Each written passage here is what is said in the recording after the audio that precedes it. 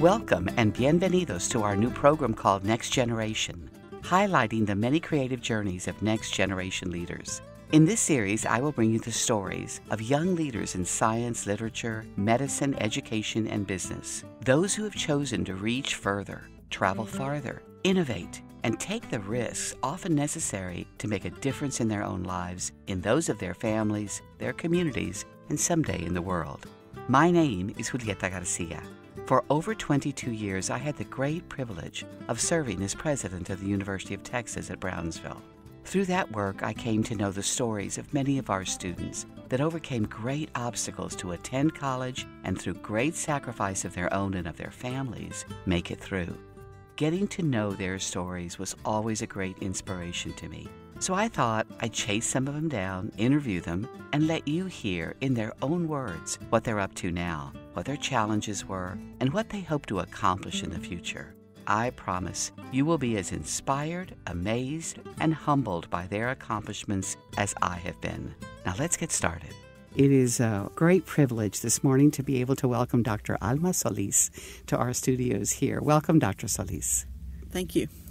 Uh, Dr. Solis came uh, to be uh, on our campus for this interview, but also to speak to our students from Washington, D.C. And so we're very, very fortunate to be able to bring her home uh, to talk to a next generation of leaders about her own leadership. So, Almita, thank you very, very much for giving of your time and your energy and of your history to inspire the next generation. Thank you. It's great to be here. All right, Alma. So we start out in Brownsville. You were a student here before you became a big shot in Washington, D.C. So tell us a little bit about your family and your background. Um, well, um, I my family and, and I grew up in, in Brownsville, Texas, just down the street from the university. I went to uh, J.T. Canales Elementary School and then to Faulk Junior High. And then I graduated from the last uh, graduating class of Brownsville High School in 1974. And at that point, I had to make a decision as to where to go to school. And um, I got a lot of letters from a lot of universities, and I decided to stay at TSC, uh, Texas Southmost College, uh, for my first two years. And it was the best thing I ever did because I discovered science, biology, and it was just amazing for me uh, to to to see something different. Um, you started out as an English major, as I recall. I, I was. I was an English major. I just loved my English courses at TSC. I just, I just, that's what I wanted to do for the rest of my life. And then um, I had a friend who said she wanted to join Gorgas Science Society, but she didn't want to go by herself and would I go with her? And I went, and I'm the one who got who ended up in science. Um, and what was Gorgas Science Society? So Gorgas Science Society was a, a, a it was just like a club uh, for students in uh, who were interested in biology or science, and um, and they held these. Um, they used to have these trips to Rancho del Cielo in northwestern Me- in northeastern Mexico. Um, and I remember, I want to tell a little story here that in those days, um, you ha- your parents had to sign a permission slip, even though you were, you know, 19 years old, right? and uh, my father wouldn't sign that to let me go for just like three or four days. And um, he just wouldn't sign it. And he ran into a friend of his who was a coach at the at the at uh, in one of the high schools, and his daughter had been down there, and he started to explain how Barbara Warburton was in charge of this prop, prop of of this whole event, and that uh, the there was very good a very good who was a very good chaperone and would make sure that nothing would happen to me. And uh, yes i was going into the wilds of mexico but uh, that everything would be okay. And he came home and he said okay i'm going to sign it so that's how you got permission. And that's how I got permission. Oh my! Yeah.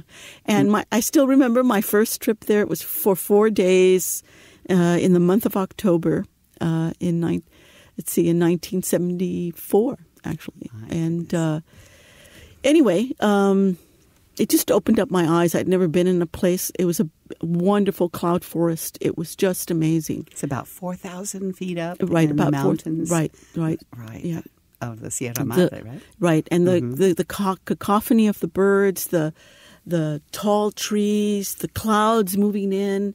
It was just amazing, and uh, that that turned me around really into to well turned me into science basically. And so you've never looked back. I never looked back. You go to the Folgers Theatre to, to get your English fix every once in a while. That's I'm true. I go to I, I, I go to Shakespeare, Shakespeare plays there. Yes, still. we need to work all sides of the brain. so you you ended up majoring in biology, and from TSC and your wonderful experiences in the field, uh, which is very rare for a, a, freshman and sophomore student in science. So you'd already been in the field in, in, a, in an ancient forest in the mm-hmm. mountains of Mexico. Um, and from here, then, where did you go? So then I went to the University of, of Texas um, because there was no four. year, There were no. The second two years just didn't exist in Brownsville, mm-hmm. so I had to go away. Uh, go away, and I went to UT um, Austin. And I remember walking into like a counselor's office, and they said, "But you have all these." Science courses, and you say you're an English major. I said yes. They said, well, "Have you ever thought about going into science?" And I said, "Well, I said okay, let's go for it. and um, but I was definitely going to go into education. My father had, who um, who didn't uh, go to school for very long. I mean, he had probably a sixth grade education. Um, always had always pushed uh, me being a teacher because that was his experience of an education. And so I went into the secondary science education program at UT Austin. And uh, so I did science courses and I did education courses, and I got a really good grounding on how to teach science from them. And um, but then I decided that I wanted to go to do a master's degree, and this is where it got a little complicated because my father couldn't understand it you know, why was no acabas, mija? no, no, it was why no? aren't you coming home uh, um, to teach? To teach, get married, have kids, you know, yeah, the whole thing. Of course. And um, and they happened to my parents were returning something to Barbara Warburton, and she told them she I don't I wasn't there because I was in Austin, but she told them that. Uh, explain to them why it was important that I continue on with my education. And so after that, it was easier with my dad. Uh, my mother was amazing. She always said, just keep going, do what you want to do. And so, um, so then I came back from UT Austin. I told Barbara Warburton that I wanted to go to graduate school. And she said, "Well, what are you interested in?" I said, "Well, I'm really interested in plants and uh, you know this kind of thing." And and she said because um, I had had a a wonderful course at UT Austin on plant systematics or the classification of plants with uh, Dr. Johnson. I can't remember his first name, but he wrote The Plants of Texas. Anyway, uh, I said this to her, and she said, uh, "Well, let me." She said, "You ought to be working with Dr. Larry Gilbert in the in the zoology department."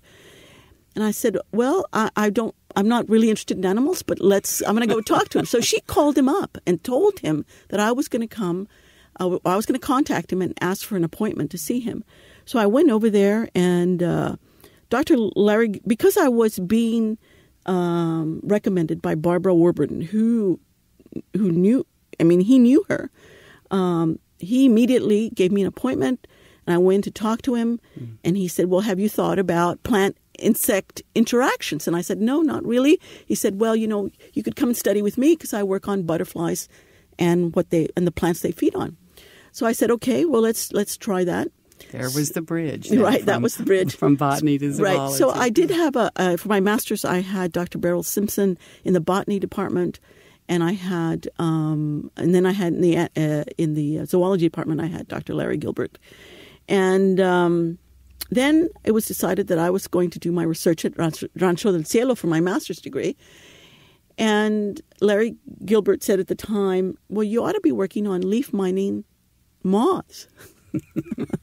because? So, well, because um, uh, uh, he showed me this study that had been done in California by Dr. Paul Opler on uh, on what species of leaf mining moths. These are caterpillars that are so tiny they mine the leaves, and all you can see is the mines on the leaf. The the caterpillars are so tiny.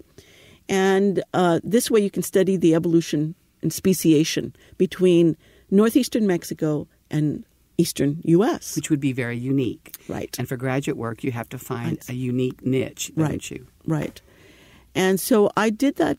I so I spent by myself. I was uh, two and a half months the first year uh, rearing leaf mining moths, and then the Where sec- was this? at Rancho del Cielo. At Rancho del Cielo. Yeah, so I was there by myself, and let me tell you, that's very character building. because Rancho del Cielo what took just to get up there from Gomez Farias, which was right right outside of Ciudad Victoria, but right, to go up right. to Rancho del Cielo took how many hours by Uh, truck? I think it took a couple of hours, but there's no electricity. right, It's all done with butane and and no running water. no running water. There are right. cisterns or- Cisterns, right? There are outhouses. There's you see, there's no television, no radio in those days, and of course now I'm sure I don't know if there's cell phone uh, contact there. There but is, there is, There is, barely, yeah, but they're there. Oh yeah. Um, but uh, so, it, but it it wasn't just having all these gadgets. It's it's the I had never been truly alone by myself. And so the first three days were really hard because you'd hear a noise and you'd rush out to see what it was, and uh, and usually it was just the wind, you know, or squirrels on the ceiling, or bats in the roof. Um, and so it i think it helped me build an incredible character and courage to be alone which a lot of people don't have that opportunity i was very lucky and uh, so then so then i did all this work and then i got back and and Very lucky. Not many people would say how lucky to spend. I spent one night by myself at Rancho del Cielo. Thought I was like the queen of the world Right. because I had survived by myself one night. So you spent several Months, Yeah, right. that's that's two times yeah and uh, So there is where where this blossom, this Right. interest right in these moths, moths occurred. exactly Okay. in general moths in general Yeah. and um and so what what i got back and it's sort of like well i said to, i said to uh, dr gilbert i said well see gee larry i said you know i can't f- there's no books there's nothing to tell me what these species are he says well alma you're going to have to go to the smithsonian for that Is that where that occurred? that's what happened. Oh my goodness! So he was off in Costa Rica, and they were offering some um, funds at the University of Texas Department of Biological Sciences at the time. Uh, to they were called, I think, subvention funds, and I applied for it and got another professor to sign off for me. And I got the money, so I was able to go up to Washington for three days. And I went up there with my little moths, my boxes of moths, and um, it was amazing. Uh, they all just came out of their offices. They'd never seen moths now from the- they would be scientists. scientists at the Natural History Museum. Okay, because there the- are many Smithsonian museums, right? right, but this would be the Natural History Museum, which is where I work now. But uh, that's that that's further that's further down the road. I mean, I didn't know that at the time. Full circle. Yeah. And uh, later, I was told that that was one of the best things I ever did to actually show up. That a lot of people would, in those days would write letters or make phone calls, but to actually show up was a big deal. And so you showed up and you showed them your moths. Right. And why was that such a big deal? Well, it's a very unique area where nobody, none of the scientists there had ever seen moths from that area, and that's it.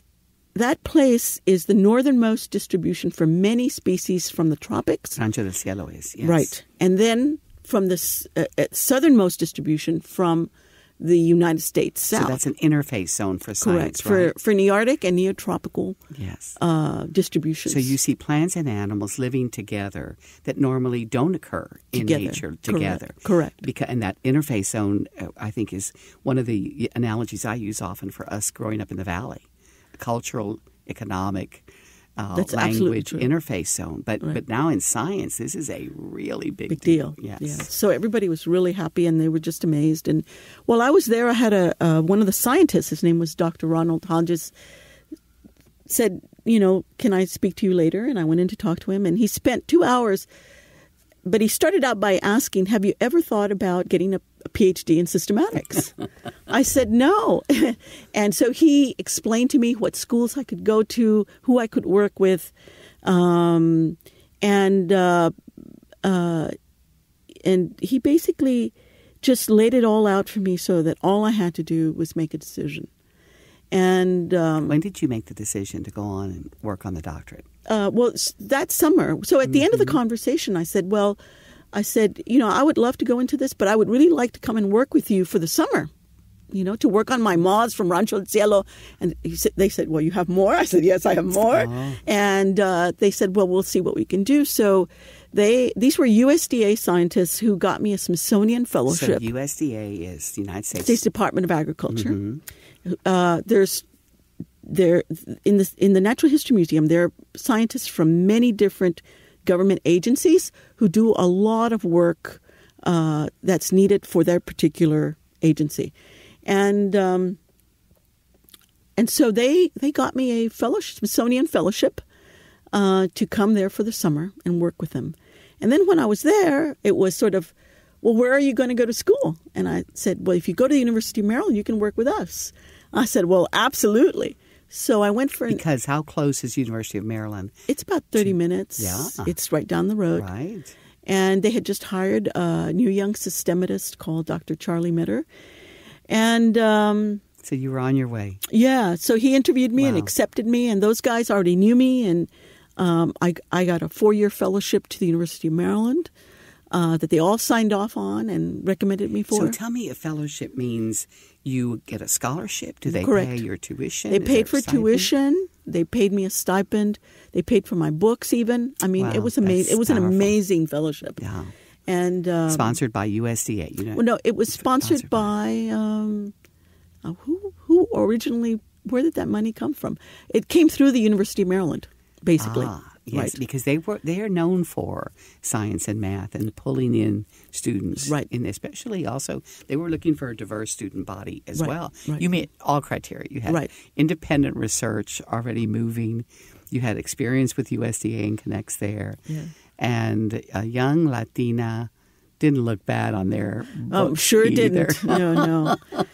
How magnificent. So then you stayed there then for a while, Yeah, worked and- on your PhD. I did. And the last three years of my PhD, the USDA hired me half time as an entomologist.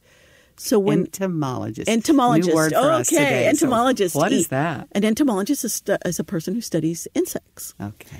and um, That's what you are. that's what I am. To this Exactly. day. To this day, I am. we asked, what, are, what do you do? Yeah. You are a research entomologist, Correct. which Um, means you continue to do research then in the field. right. And And is the there lab. anything to discover? I mean, have you discovered it all already, or is there? Well, there's so much.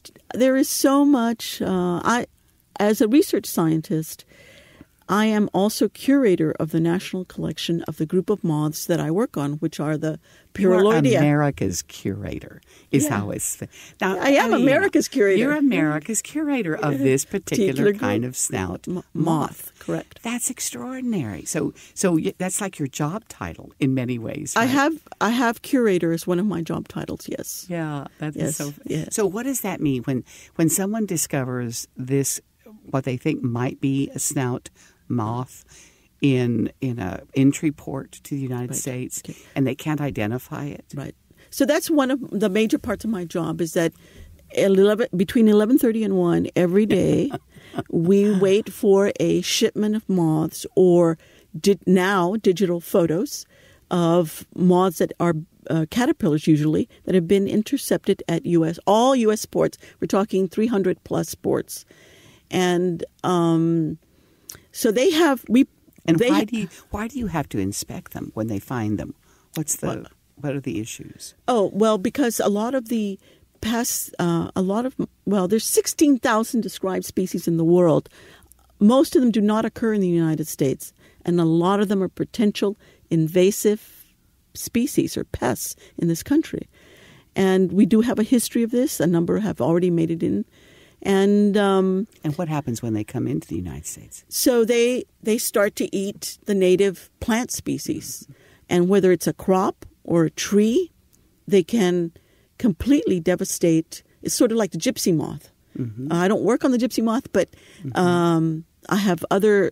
There are other species that I work on, like uh, the European corn borer that attacks corn crops in the United so States. They, so your job is to identify any invasive species, Potential, in- Potential. right? So and then stop them from coming in. Well, I don't stop them. No, no. I just tell the Animal Plant Health Inspection uh-huh. Service that that species does not occur in the United States, hmm. that there that it's related to other potentially um, invasive. invasive Yeah. species. And so that's all I do. I mean, the job is so huge. That they decide They decide what they need to whether or not to to mitigate it. intercept and mitigate. Right. And they they're the ones that decide what the action is. I remember you telling a story a long time ago about your dad um, who wanted you to come back to Brownsville badly. And there was a job at the customs or something on the bridge and doing similar kinds of things, inspecting, not not what you're doing, but Yeah. but Identifying, that, that kind of yes. first level First level, yeah. right? And and he said something like, Mijita, can can you do that? and he said, Well, yeah, Dad, I can do that a lot more. He said, Then good, you can come and apply for this job. But that wasn't in your plan, Oh, life's work. So so let's now fast forward a little bit. Um, uh, you now are living in Washington D.C. Have lived there for quite a while. Are married. Since the 80s, yes. Yeah, since the 80s. Okay, so your new home or your second home is DC. And tell us uh, now what you're doing with with uh, with the USDA and with the museum and and about your other kind of stop off points in between.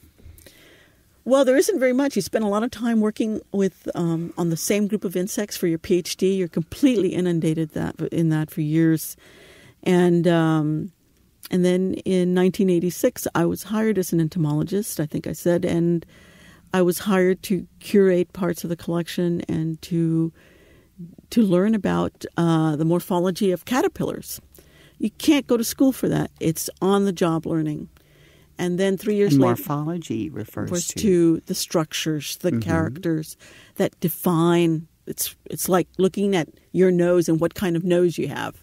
That's that kind of thing, and. Um, but in this case, it's caterpillar noses. But but anyway, uh, so yeah. Then um, I was hired. I I defended my dissertation on a Friday, and I was hired by USDA on a Monday. So now, okay, so you have had this magnificent career. You've been, you've received a tremendous amount of recognition um, uh, for for for much of your work. Um, you became president of a group in Washington. Also, it was at the uh, Entomological Society of Washington. Washington and the Washington Biologist Field Club. And was that a rare thing for a woman entomologist? Uh, well, of course, president? yes. There- there- yes, of course. there are not that many women in entomology, and Uh, not uh, that many. I mean, how many women do you think in your field at that level Well, it depends upon how you define field. I mean, um, um, the number of women who work on moths worldwide is probably less than ten. Less than 10 worldwide. Okay. So now we're narrowing the field quite a bit. Right. So for you to become president of this group was really quite an extraordinary moment. No, it was- and often I'm sure you found yourself as the woman, the woman entomologist, Right. the woman scientist Yeah. in that field. Yeah. Yeah. So I'm also president of the Washington. I was president of the Washington Biologists Field Club, which is about sixty member has only sixty members. You have to be nominated and you have to be elected into it, and um, it's hundred years old. And I was its first woman president, And and that came out in the Washington Post. that was in the Washington Post. And why did it come out in the Post? because in previous uh, article they had been um, criticized for not having any women in the club Oh. and being So they were going to show you off now. right exactly so uh, anyway so they that's the basically what the article was about was Yeah. about breaking that barrier and i wasn't the first female president in fact i was asked if i wanted to be nominated and i said there were a number of older women who deserved to be older than me who deserved to be nominated first and so they were nominated first and then i was i came in a little later um, but uh, i was the first woman elected and they elected me while i was on my honeymoon in tobago Ah, to another scientist.